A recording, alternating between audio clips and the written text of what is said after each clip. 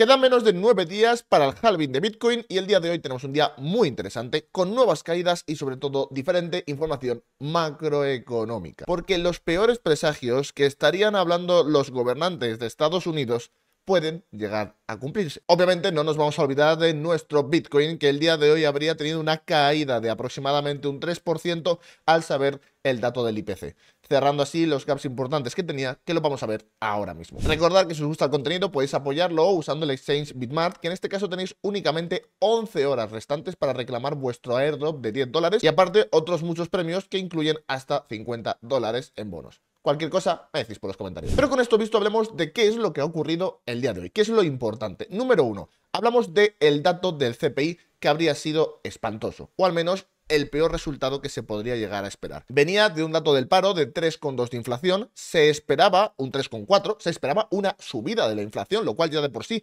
era algo malo, y al final habríamos acabado con una subida del 3,5, peores datos de los que se esperaba. El core CPI se esperaría que también bajase un poquito la inflación. El anterior dato de la inflación que tenemos sería de 0,4, lo que esperaría una bajada de una décima. Se ha quedado exactamente igual y total estancada. Con ello se prevé la peor situación que se podría llegar a esperar, y es que durante los anteriores días hemos tenido a Powell, a nuestro gran compañero y consejero de la FOM, hablando de que, oye, sí, quería hacer diferentes bajadas de tipos de interés, quería bajar, al menos desde donde nos encontramos, un pequeño escalón de 0,25, era lo que tenía planeado al principio, incluso podría llegar a ser uno de 0,50 en los tipos de interés, pero que, como mucho, pensaría en hacer uno o dos bajadas debido a que aún no teníamos controlada la inflación.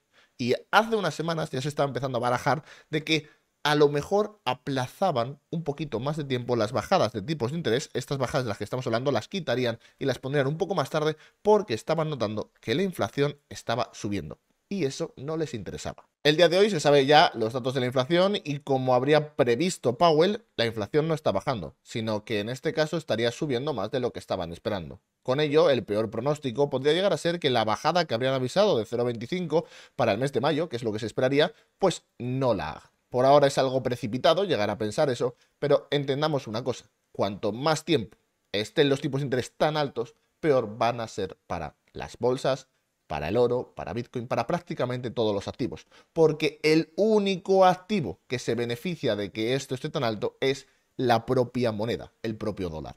Con esto visto, hablemos de la zona importante que tenemos por la parte baja, que a día de hoy ya debería de haberse completado. Y es que el fin de semana nos dejaba un pequeño gap bajista. Lo comentamos el día de ayer de que, oye, a lo mejor estado tan cerca, cuidado con lo que podría llegar a ocurrir porque ya sabéis que estos gaps, como hemos visto estadísticamente hablando en otros vídeos, se cierran casi siempre. En estos momentos y con la última bajada que tenemos debido al dato de inflación, sobre todo en el último día, ya podemos decir que este gap está totalmente cerrado al 100% y que si quisiésemos tener todos los gaps cerrados al 100% tendríamos que esperar una bajada hasta la zona de los 64 mil dólares para que se cerrase el completo de el gap que se nos quedó hace ya 3, 4 fines de semana. Vale, ¿qué actualizaciones tenemos sobre el precio de Bitcoin? Número uno, hemos cerrado el gap, lo estamos viendo por pantalla. Ya no nos quedan más interés bajista. Bueno, podríamos decir que la zona de los 64.000 podría ser un interés bajista para los próximos días. A nivel de análisis técnico, ahora mismo Bitcoin estaría parando sobre lo que sería la zona media del rango. Aquí lo podemos ver.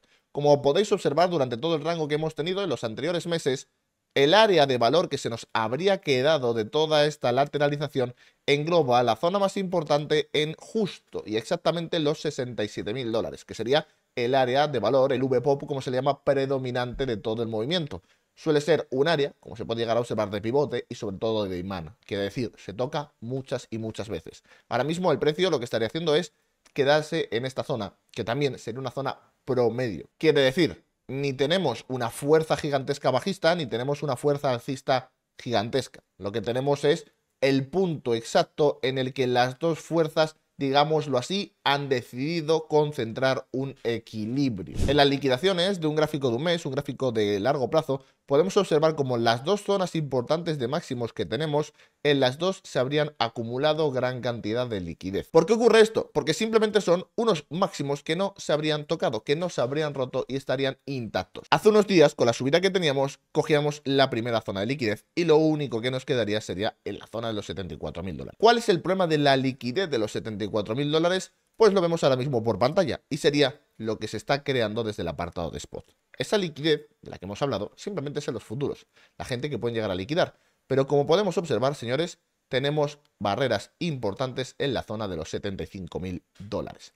Ahora, y este dato es importante, las barreras no pueden ni compararse a hace ya un par de semanas. ¿Qué quiero decir con esto? Y aquí lo importante. Miradlo, vosotros vais a ver la diferencia. Observar cuando estábamos laterales hace un par de semanas. ¿Qué es lo que teníamos? Que el precio no querían que subiese y superase la zona máximos. Tenían una barrera de los 75.000 y toda la zona de los 72, 71.000 dólares totalmente plagada de liquidez para que el precio no consiguiese subir bajo ningún concepto. Ahora, ¿qué es lo que estamos teniendo en estos momentos en la última lateralización? Sí, hemos caído un poco, pero observar las diferencias aún así. Teníamos la barrera de los 75.000 que seguiría existiendo a lo mejor podríamos decir que es un poquito más fina o un poquito de color más oscuro, con lo cual acumularía menos liquidez, pero lo más importante aquí es que como podemos observar, por debajo de la zona de los 75 mil dólares no habría nada. No habrían hecho como la anterior vez de acumular tantísima liquidez. Con ello, en estos momentos, estamos pudiendo decir que las barreras de la parte alta poco a poco se están disipando. Y ahora con esta última caída que hemos tenido a la zona media, a la zona del VPOP, a la zona de equilibrio, en la zona de los 67 mil dólares, esas barreras de la parte alta ya prácticamente solamente existirían en los 75 mil dólares. Una única barrera protegiendo la zona de máximos, justo en esa zona de precio que veis ahí por pantalla. Hablando de solamente el apartado de spot, entendamos una cosa. La tendencia alcista que teníamos se ha roto en todos los casos. Con lo cual ya podemos hablar de que hemos hecho un nuevo máximo relativo. ¿Qué quiero decir con esto, señores? Como veis, en los dos casos prácticamente se habría roto, con lo cual esta tendencia alcista que habíamos tenido durante un tiempo se ha respetado y ha llegado hasta aquí. Este va a ser el máximo nuevo relativo que tendríamos y este sería el mínimo relativo que nos quedaría. ¿Qué quiere decir con esto, señores? Que tenemos un pequeño cambio de estructura. ¿Qué quiero decir con esto? Observarlo vosotros, señores. Veníamos de hacer máximos cada vez, cada vez más y más altos. Hasta que en un momento esta tendencia cambió, con lo cual tenemos un cambio de estructura, que de normal quiere decir que tenemos o lateralizaciones o caídas. Mismo podíamos observar cuando nos encontramos aquí y teníamos unos mínimos cada vez más bajos, como se podría llegar a observar, hasta que en un momento tuvimos uno más alto. Otra vez otro cambio de estructura que nos indicaba lateralizaciones. Ahora, ¿qué es lo que hemos tenido por pantalla, señores? Lo podemos llegar a observar. Si hemos hablado de que estamos laterales entre los 74.000 dólares y la zona de los 61.000 dólares aproximada del precio, hemos observado una pequeña fuerza. ¿Por qué digo una pequeña fuerza? Porque observar todos los máximos relativos que estamos viendo en todo momento han ido poco a poco subiendo hacia la parte alta y todavía esa tendencia no se habría roto. ¿Y qué sí es lo que se habría roto? Que ahora, por primera vez, tenemos unos máximos por encima de los anteriores. Dejando así otro cambio de estructura, aunque no sería un cambio de estructura como tal, porque seguimos laterales, no es un cambio de estructura, seguimos laterales, pero nos demuestra una pequeña fuerza dentro de toda la lateralización. Son pequeñas pistas que nos va dejando el precio para ver qué es lo que está ocurriendo. Ahora, lo que tendríamos que ver es esta tendencia nueva bajista que está ocurriendo, esta mini tendencia bajista que estaría pasando en estos momentos, va a dejar un mínimo por debajo de los anteriores.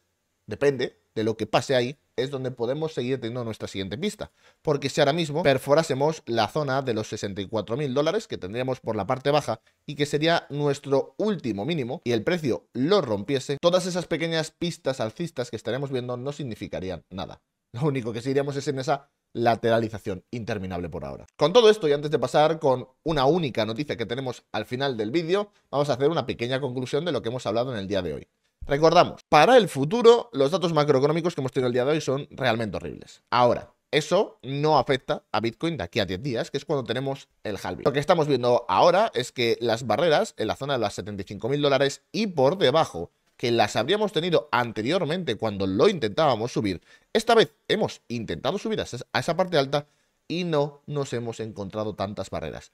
Poco a poco las van haciendo desaparecer. Entonces, si Bitcoin vuelve a pillar fuerza alcista y lo vuelve a intentar de nuevo, probablemente acabe consiguiendo perforarlas. Ahora mismo no hay ni novedades en el spot ni novedades en los futuros. Todo se estaría comportando respecto a lo que está haciendo el precio. Si el precio sube, sube. Si el precio baja, baja. Lo único que tenemos que tener en cuenta es que la tendencia alcista que estaríamos representando durante estos últimos días se habría roto. Tenemos un nuevo máximo relativo que habría hecho un pequeño cambio de estructura haciendo un máximo por encima del anterior. Como se diría en inglés, un higher high, que en español sería como un máximo más máximo, lo cual, bueno, suena un poquito raro. Yo lo llamo un máximo más relativo y así nos quedamos un poquito más bonito el nombre, ¿no? Con esto, la pista que tenemos para que sea un buen desenlace alcista. Quiere decir, a nivel técnico, para quedarnos bien alcistas, simplemente no tendríamos que perder la zona de los 65 mil dólares. Esta es la zona clave, porque indicaría que ese intento de hacer cada vez máximos más alcistas, mínimos más bajistas, una especie de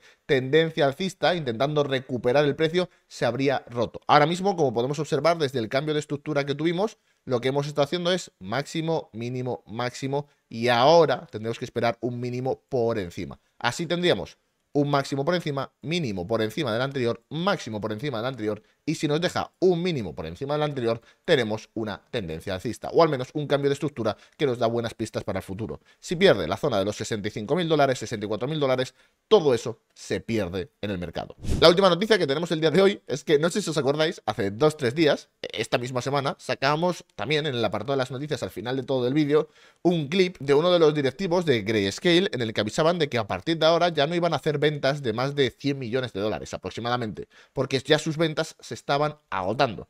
Bueno, pues el día de ayer teníamos una venta un poco especial, y es que habrían vendido, aquí tenemos, podéis hacer la cuenta, sumar todo lo que vosotros queráis, una venta total de 6.200 bitcoins.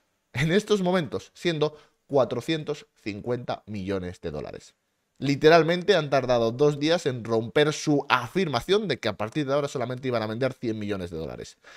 El mundo, este ecosistema cripto, al igual que el del mercado financiero, sigue siendo un cachondeo. Espero que os haya gustado el vídeo. Nos vemos en el vídeo de mañana y cualquier duda que tengáis o cualquier sugerencia me la dejáis por los comentarios. Nos vemos. Hasta la próxima.